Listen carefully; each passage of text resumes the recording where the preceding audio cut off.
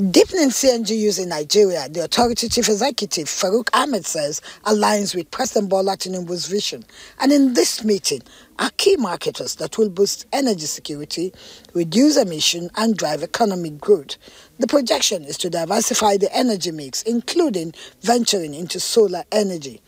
CNG is the way to go, and uh, we discussed our plans and the collective responsibility to hopefully very soon start to see CNG add-ons in most of our new coming or upcoming and larger petrol stations. Just like we have uh, PMS, AGO, and in the past DPK, we also want to have the CNG in petrol so that to be there be easy access to the consumers. The country first, and it's when we have a good country that the marketers is able to uh, do business and the consumer will be able to buy. I think the decision of the federal government supersedes whatever individual decisions or uh, plan that we have. We are all in alignment with what's the decision of the federal government.